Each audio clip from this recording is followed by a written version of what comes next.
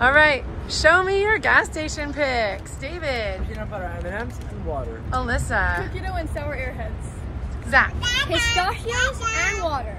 Chris, A naked drink and gum. Michael, Acura NSX and donut holes. Owen, Orange and apple juice and some orange juice. and Chloe. What did you get?